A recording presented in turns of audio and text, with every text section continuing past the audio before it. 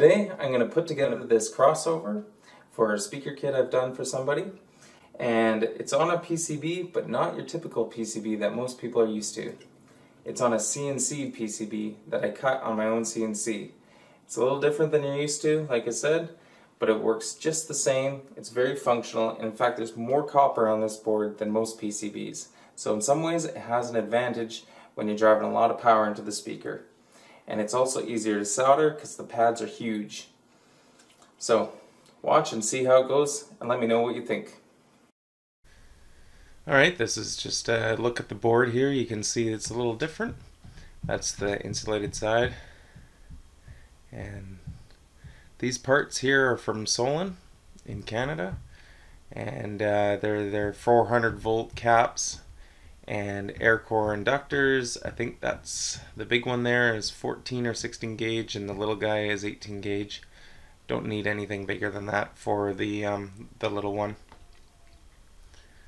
I'm just stretching all the um, the leads out so I can get them on the board there and setting the inductor in place. Okay, now I'm going to hot glue everything into place. Hot glue, I just I find it works really good. Some people like silicone or um, you know, some other kind of glue. This just works really well for me. I glue the inductor into place, um, but I also use a zip strap. This is because it's so heavy that if it takes a good hit or something like that, this just gives a really secure mechanical lock to the board. Um, I only use one, but on some big inductors I will use two. It kind of depends on the board layout and things like that too.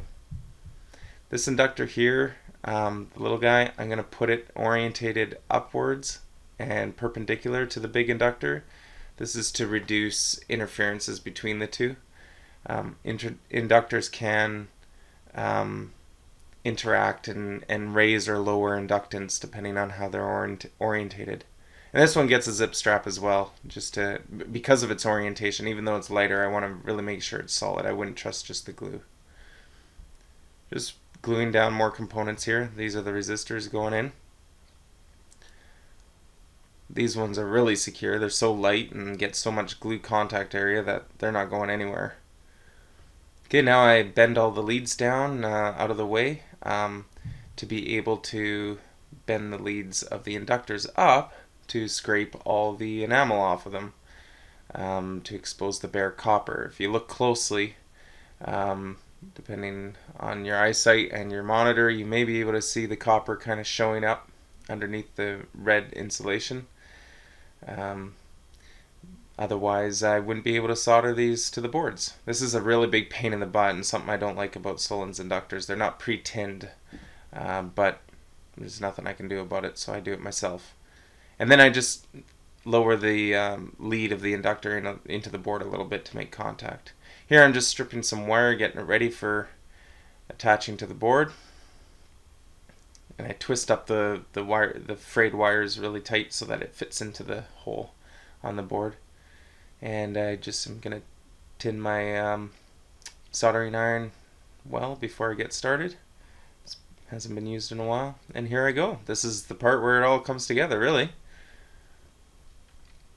As opposed to fine electronics, like if you're so used to soldering um, computer boards or something, um, this takes a lot of solder um, and a lot of heat because the leads are just thicker than, especially the inductor leads, not so much the capacitor and resistor leads, but just the area on the board and the size of the leads just is a lot bigger than fine little resistors and stuff for computers. And there it is. Now I snip all the excess uh, metal off the back of the board just to clean it up and make sure there nothing will come into contact and short out. and now I'm just going to test the board to make sure all the open circuits and continuous circuits are working as they should and and the circuits that have a resistor in line roughly match the resistance that I expect.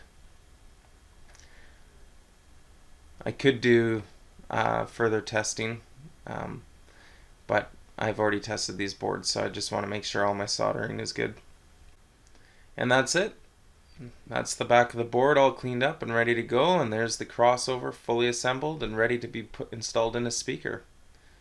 Thanks for watching.